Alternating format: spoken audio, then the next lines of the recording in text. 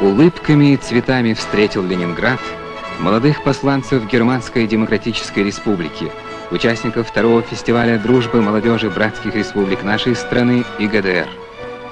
Фестиваль посвящен 50-летию образования Советского Союза и 25-летию дружеских связей Ленинского комсомола и Союза свободной немецкой молодежи.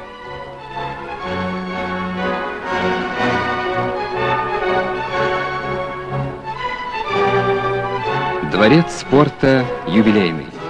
Открывает фестиваль первый секретарь Центрального комитета ВЛКСМ Евгений Тяжельников.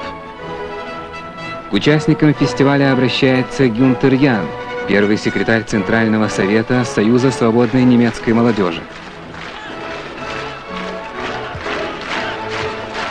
Фестиваль проходил под знаком активного участия молодежи в выполнении решений 24-го съезда КПСС и 8-го съезда Социалистической Единой партии Германии.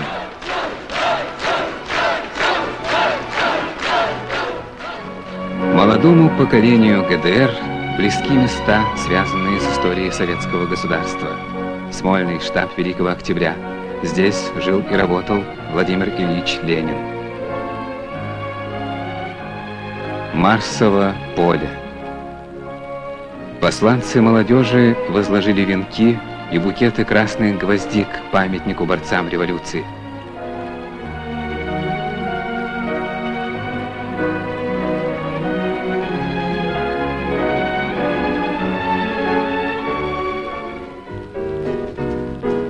Гости из ГДР побывали в цехах производственного объединения «Электросила». Молодые рабочие рассказали своим друзьям о том, как трудятся они сегодня, познакомили их с продукцией, которую выпускает эта крупнейшая в стране промышленная фирма.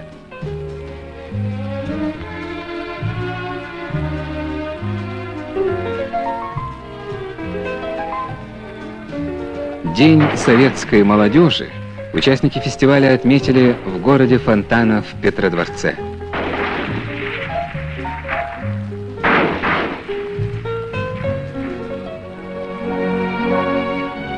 В официальном документе, подписанном Евгением Тяжельниковым и Гюнтером Яном, нашли отражение мыслей и чаяния молодых строителей нового общества, верных пролетарскому интернационализму, верных заветам Владимира Ильича Ленина.